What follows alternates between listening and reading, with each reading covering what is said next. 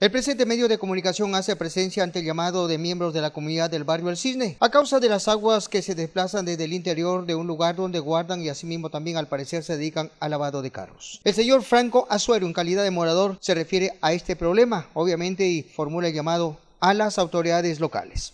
En primer lugar, el, paradero de, los buses que entran y salen y se obstaculiza también mucho la, vía, no, no, no, es mucho transitable. Ya.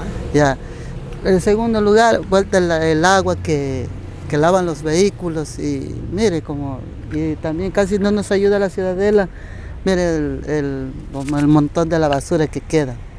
Que ya no, ya no, ya no, ya no utilicen aquí los para que laven los carros porque nos están destruyendo la calle. la seguridad ambiental del Boquillas? No, porque no tenemos un diálogo con el presidente de, la, directiva. O sea, no, está funcionando o sea, él, la directiva prácticamente cree que no le interesa la, la, ciudadela, porque o sea, yo, yo también soy, soy vocal de la directiva, pero el presidente no nos ha tomado en cuenta. Aquí casi no hay un, diálogo entre, entre, entre vocales tampoco, porque... O sea, la dirigencia no, no, no, no, está trabajando, no, está trabajando mucho. Es otro problema. Claro. Eso ya depende del, del, presidente de la, de la ciudadela. ¿Cuál es el nombre del señor presidente? Este, el, señor Roberto Landa.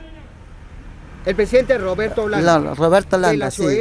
El cisne, vive al frente de la iglesia. Desde el barrio El Cisne, TV Oro Noticias.